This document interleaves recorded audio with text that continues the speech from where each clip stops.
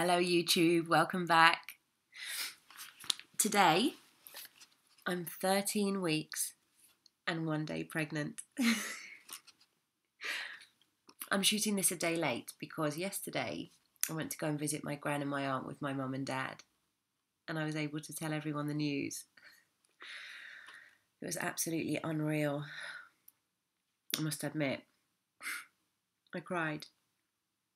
As you know, this is the furthest along I've been in all my previous three pregnancies. So, oh, my gran, she was just so excited.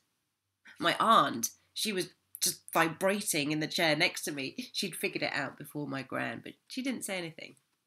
She did really well. Good on you, Jenny. So, yeah, she was just amazed. It was all quite, you know, a little overwhelming. Now, there was loads of people around.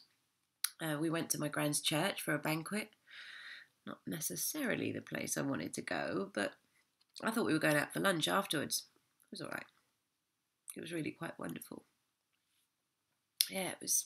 It was just unreal. You know,